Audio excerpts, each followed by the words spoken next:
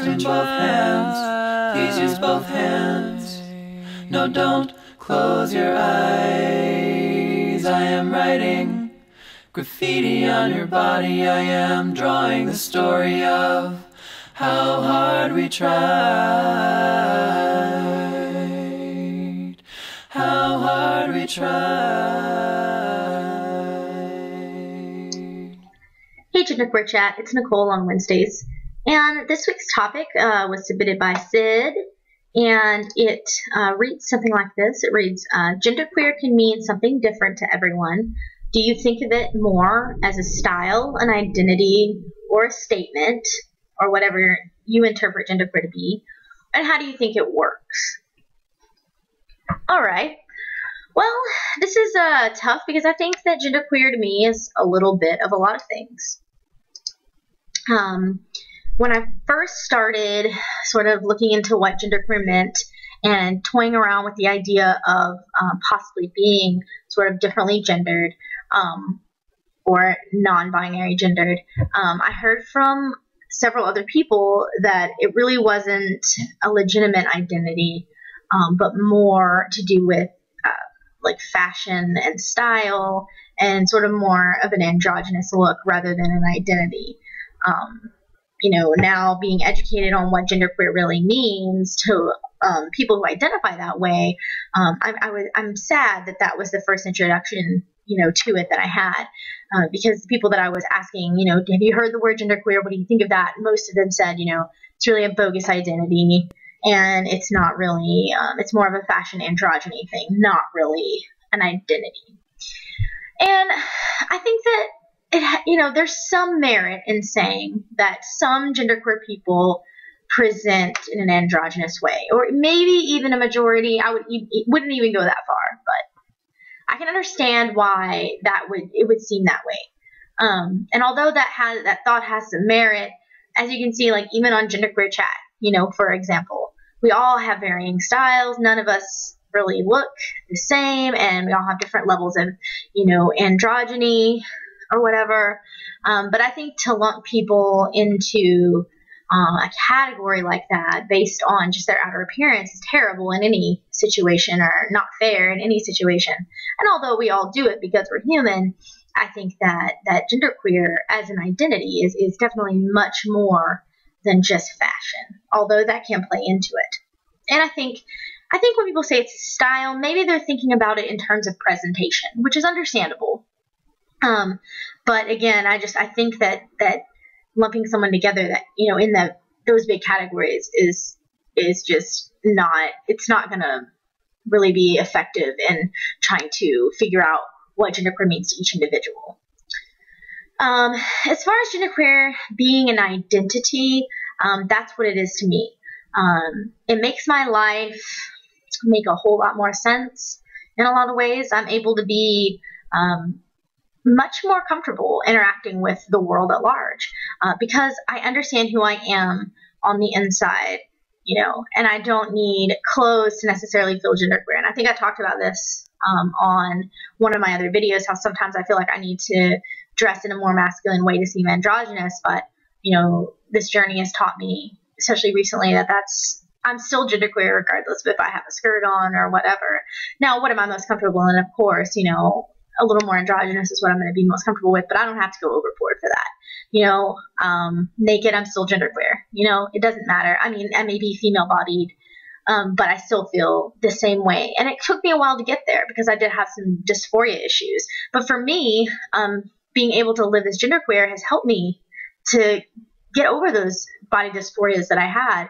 I still have them a little bit, they're going to be there. But for me, you know, knowing that I'm not going to, you know, choose surgery or testosterone, um, being genderqueer has been a great way to um, be able to embrace all of myself, you know, and I know that on the inside, this is who I am. I know my girlfriend accepts me and my friends accept me. Um, and that's what I need. And that's why genderqueer is so core to my identity and who I am. Um, as far as genderqueer being a statement, I thought about this a lot. Um, I didn't start out as genderqueer being some kind of social statement or anything. Um, it has evolved into that, I guess. Not necessarily because um, I was looking for that role to be this person who makes a statement, but um, the longer that I have lived as genderqueer openly, the more sensitive that I've become to sort of, I don't know, the wrath of the gender binary, I guess. Um, and so the more sensitive I've become to to that to, to the situation of um, being sort of on this scale of gender, and not necessarily in you know on either binary side, um, it's made me want to educate, raise awareness, and be a leader among other genderqueer people. And unfortunately, well, maybe not unfortunately, but it's uncomfortable sometimes to be put in situations where I have to make a bold statement and I have to stand up for what I know is right in my heart for me. And sometimes it makes others uncomfortable, but overall, usually I get a good reaction, you know, um, typically. but I, I just, I really did not mean for it to be a statement, but I guess because it's something new and because it's something that a lot of people haven't really thought about a lot, um, it turns into a sort of statement because it's not the social norm. Just like anything that's not the social norm is considered a, a statement. So, um, and then the other question that Sid asked is, how do you think that it works? And I, am not really sure how to interpret that question, but um, I guess that I can tell my story. I mean, for me, becoming genderqueer has been a process that um, started when I was very young. And um, although I didn't identify as genderqueer until my 20s, uh, I still was always outside the gender binary always a little bit off in the gender binary. I never really identified with being a cisgendered female. Um, when I started to come into my sexuality when I was a little bit older, 16, 17, 18, I was a little more comfortable in the cisgendered role because that was what was expected of me. So, and that was fine, but I was still just, things weren't really lining up. So, for me, I've always had some type of gender dysphoria of some kind. When I was little, you know, people just used to call me a tomboy, which is fine, whatever. It's an acceptable, it's kind of funny. It's like an acceptable trans word in a way. I mean, it's not considered trans, but it's like, oh, you're still a cisgender female, but you just, you're a tomboy. I don't know. It's weird. Like, different things have different connotations, and I think it's interesting um, that if you're a masculine, you know, female born person or like female assigned person, that if you like anything masculine or don't like Barbies, whatever, you're considered a tomboy and it's kind of acceptable for a while until you get older. So that's kind of how I lived, you know, when I was younger. And, but I didn't, of course, identify as genderqueer. But what I'm saying is, I personally think that someone who is genderqueer has always known that they haven't fit completely with their bodies or they don't feel like their assigned gender is all there is to them. And so I guess that's how I think it works. I think it's something that's innate. And I think that you can come into it like I did. I didn't have education on gender queer, I didn't know what it meant until I was in my 20s. And then I was, you know, identified with that word because it explained everything I was already feeling, but didn't know how to explain in those terms.